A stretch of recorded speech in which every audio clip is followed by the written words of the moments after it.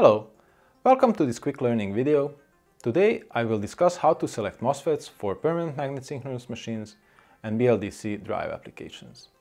I'm Nandor Bodo, application engineer here at Nexperia.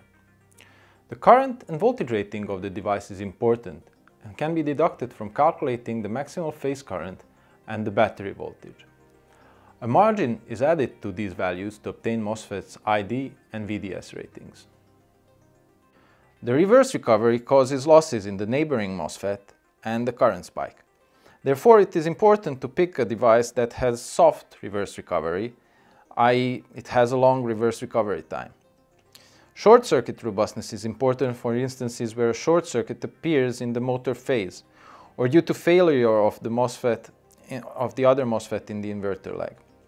In these cases, a large current can rush through the FET for a short period of time until the short circuit protection reacts. Avalanche rating can also be important at fault conditions when large inductive currents are disconnected by the MOSFET or some voltage surge is caused by ESD or other circumstances.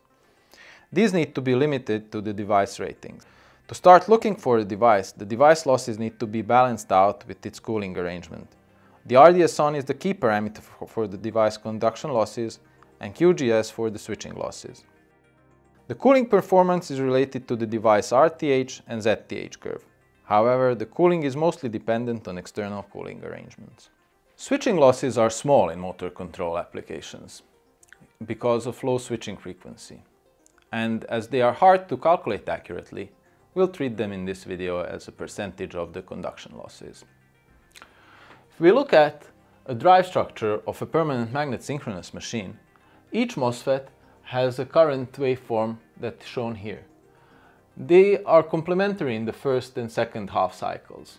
This means that by adding them together, we get half of the sinusoidal waveform in the period of a complete sinusoidal waveform. If we integrate that to get the square of the RMS value, we end up with this term, which is the maximal uh, value of the current squared divided by 4. Multiplied by the RDS-on gives us the conduction losses, and if we account to the switching losses as 50% of the conduction losses, we get the total losses. These total losses are usually determined by the cooling arrangement of the MOSFETs, and we can work ourselves back towards the RDS-on from there. We can then select the MOSFET and use the model to accurately simulate the switching losses.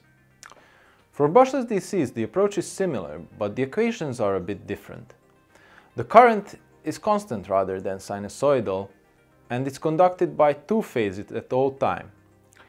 If the MOSFET switching is shared equally, each MOSFET uses this amount of conduction loss, showed on the left.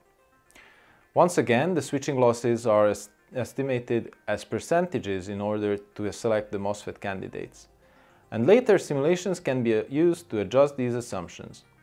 However, if the most common application, the losses are shared unequally as shown in the equations on the right. The bottom MOSFETs conduct during both control half cycles, while the top switches only at the positive half cycle. Thanks for watching. For more information, check out our interactive application notes on nexperia.com.